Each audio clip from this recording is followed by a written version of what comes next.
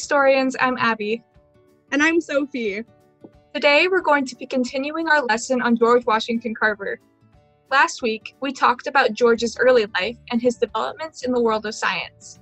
This week, we're going to dive into his artistic side and his love for plants. We remember from last week that George loved nature at a very young age, and people even called him the plant doctor. He had his own personal garden where he could study and care for plants when he was a boy.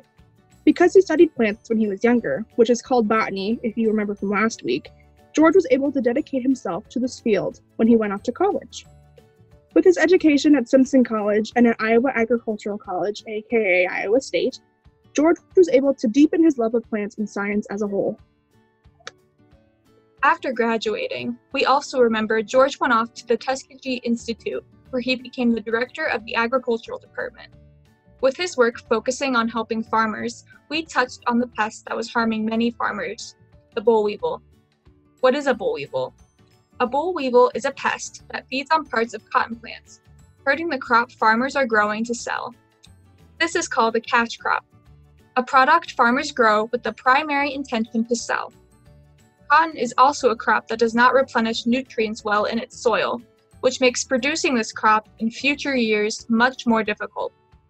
What is a nutrient? A nutrient is a substance that living things use to grow and survive. This is why it is important to eat nutritious foods. With these two factors in mind, George set out to help find ways for farmers to succeed. George spent a lot of his time studying plants at Tuskegee. He taught various agricultural courses and programs there, and he kept a personal garden and collected plant specimens to study. What is a specimen? A specimen is an individual plant, animal, mineral, or anything else that can be studied. This single item can be displayed as an example of a species or studied. While George was teaching and researching at Tuskegee, he set out to help poor farmers. The farmers George encountered were not able to afford better plows to dig deeper in the soil, or fertilizer to put nutrients back into the soil.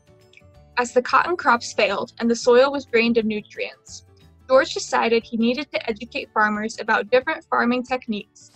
Monocropping is the practice of planting the same crop in a field every year and can strip the dirt of beneficial nutrients because not all plants add nitrogen back when growing.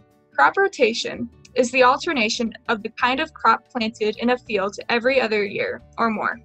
This gives the soil time to recover from a crop that uses up the nutrients by planting a crop in that field the next year that would replenish the soil. For example, many farmers alternate growing corn and soybeans in a field because corn depletes the soil and soybeans replenish the soil of nutrients. Crop rotation has other benefits as well, including pests and fungus control. George Washington Carver studied the soil and properties of plants to see which ones would grow in their area and which ones could replenish the soil of nutrients like nitrogen. George found several types of crops that could be used in crop rotation because they could grow and restore the nutrients in the soil.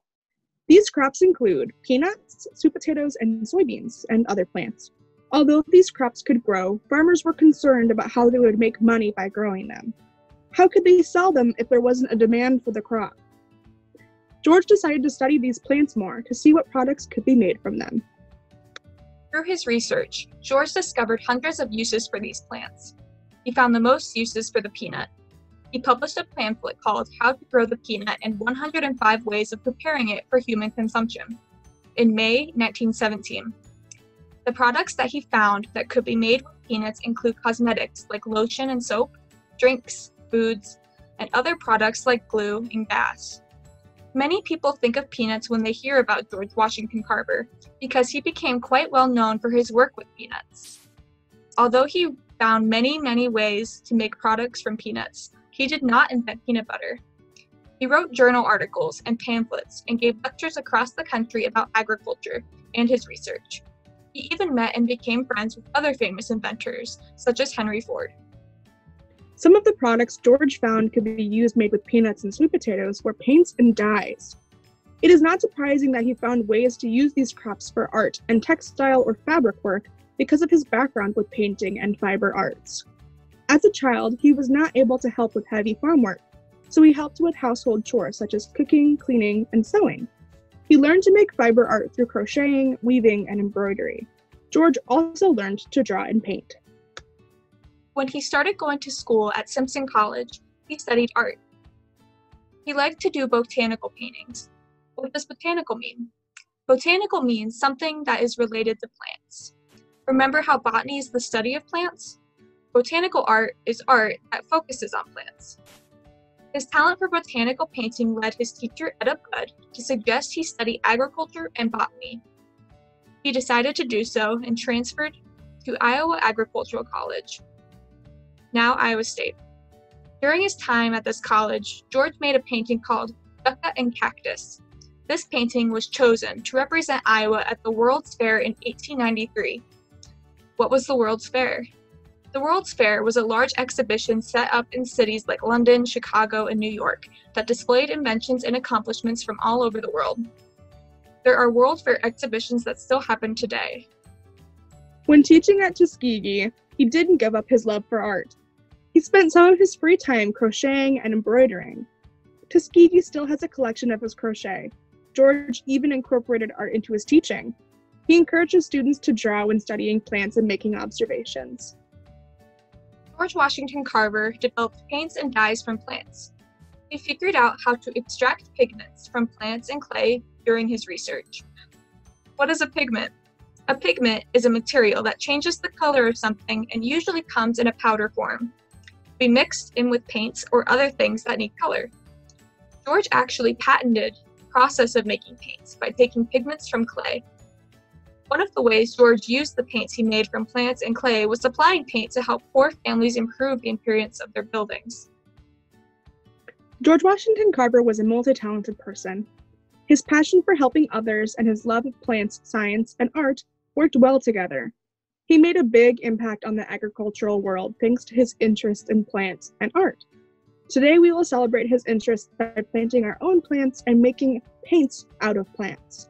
Adult supervision is needed for this activity. Our first activity today is going to be planting our own plants, just like George Washington Carver did in his greenhouses and gardens. You will need a cup, small pot, or other container, some seeds to plant, some soil to plant the seeds in, and some water. You will also need a spoon or small shovel for scooping the soil. First thing you're going to want to do is grab a container for your plant, whether that be a cup or a mug or a small pot, it doesn't really matter as long as it can hold some dirt. Then take some dirt, whether that be potting mix or soil from your backyard, and fill your container up about three quarters of the way with that dirt or soil. It's important to have a lot to support the root system of your plant. Then you're going to take a seed or a few seeds, whether that be flower or vegetable seeds, and you're going to pop that in the top of the soil, about a half an inch down. And then, after you do that, you can cover your seed or seeds with a little bit more soil. Then water it in and come back every few days to check on it to see if it needs more water and to see how it's growing. We hope you have fun! Our next activity is making our own paints from plants just like George Washington Carver. You will need a few berries or other fruit, but we found that blackberries work the best to make a red or purple pigment, a few leaves of spinach to make a green paint, three cups, whether that be plastic cups or a mug, one tablespoon of flour, one microwave safe bowl or cup, a third of a cup of water, a strainer, an apron and towels for any messes this might make, and a paper and paintbrush to get creative with. Because hot water is used in this next project, adult supervision is required. We recommend starting the process of making the spinach green paint um, before starting with the other one because it takes a little bit longer to get the pigments out of the plant. So what you're going to do is you're going to microwave a third a cup of water in a microwave safe bowl until it boils. And then you're going to take those spinach leaves and let them steep in the water for the amount of time that it takes to make the berry paint. Um, this is because it takes hot water and time to get those green pigments out of the leaves of the spinach. To make the berry paint, you're going to want to collect the berries and put it in a cup. Then you're going to take a fork or a spoon and mash them. You want to make sure to smash them so that you get all of the juices out. See how there's a lot of clumps left because of all the seeds and the skins and the berries? You're going to want to take a strainer and put the mixture through the strainer into the cup. This way, it gets all of the juices out but leaves um, all of the seeds and the skins out of your paint. Then you're going to take flour and sprinkle it in there. Not a lot, but enough to make your paint a little bit thicker. Then you're going to mix it up and you're going to have a nice berry paint. Then you're going to take your spinach out of this water it's been steeping in and do the same thing you did with the berries and strain it through to get all the pigments out. Then you're going to mix in some flour to thicken up this green paint. It's important to have towels and aprons for this project because sometimes you end up making a little bit of a mess. The paints we made using plants, just like George Washington Carver did, can be used to make some beautiful art. You can be inspired by George Washington Carver and make some botanical art like this rose, or you could think back to the seed that you planted earlier and paint a prediction of what that plant might look like when it grows older, or maybe you can just paint whatever you like. What inspires you? Don't be afraid to make art that you want. We hope your plants grow. Have fun with your homemade plant based paints. We'd love to see the art you make. You can tag the African American Museum of Iowa on Instagram or Facebook. Thank you for coming on this history adventure with us. We hope you enjoyed learning more about George Washington Carver, agriculture, and art. We'll see you again next week. Bye!